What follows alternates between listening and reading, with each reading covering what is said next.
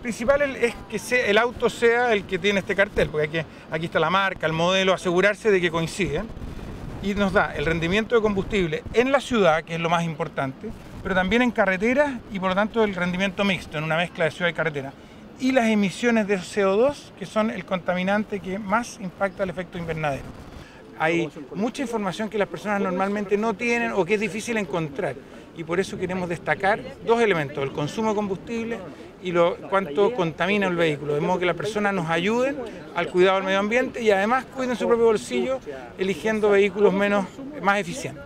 El llamado es a tomar conciencia y que cuando yo compre un auto, una persona, una familia quiera un auto, compare compare precio junto con esta información y tome la mejor decisión informada de esto. Y, cada vez con autos más sofisticados, con autos menos contaminantes, con autos que consumen menos. Entonces es importante que uno compare no solo el precio, sino que estos elementos que son esenciales en la decisión de cada uno de nosotros.